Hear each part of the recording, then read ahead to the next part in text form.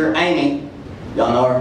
She, uh, Amy came up to me the other day and she said, Did you hear about the pink ooze in the chicken McNuggets? Have y'all heard about this?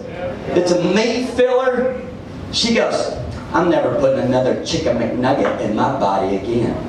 I was like, hold on, Amy. You got three kids by four different dads.